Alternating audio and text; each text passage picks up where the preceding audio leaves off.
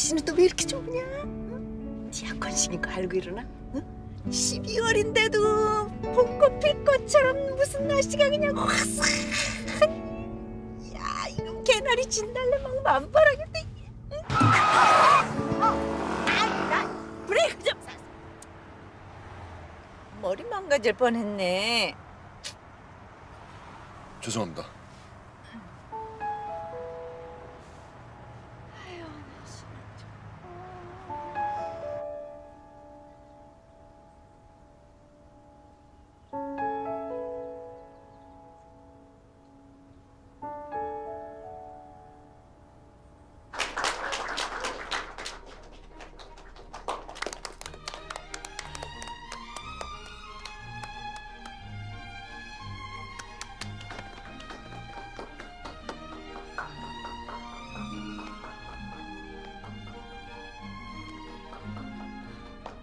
자 그럼 다음 순서는 예물 교환식이 있겠습니다.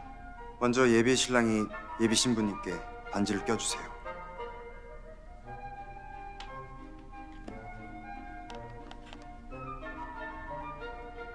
박수 부탁드리겠습니다.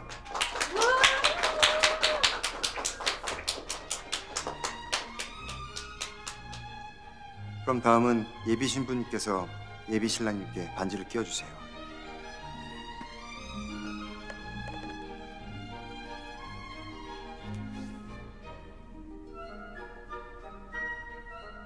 다시 한번 큰 박수 부탁드리겠습니다.